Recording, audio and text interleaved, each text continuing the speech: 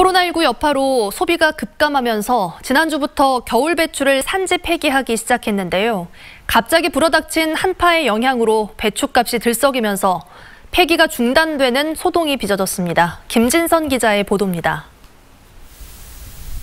전국 생산량의 70% 이상을 차지하는 해남 겨울 배추. 지난주 45헥타르 규모의 배추밭에서 폐기가 시작됐습니다. 겨울 배추 재배 면적이 전국에서 3% 이상 증가하면서 공급이 과잉돼 농림축산식품부가 내놓은 가격 안정 대책의 일환입니다. 해마다 산지 폐기가 반복되면서 지난해 휴경제까지 시범 도입했지만 목표 면적의 8%에 그쳤습니다. 아무래도 이제 적정 재배 면적을 유지해야 되는데 좀 가격이 높으면 기대 심리로 아까 말씀드렸 기대 심리로 이제 재배 면적이 좀 많이 늘어나요. 올해.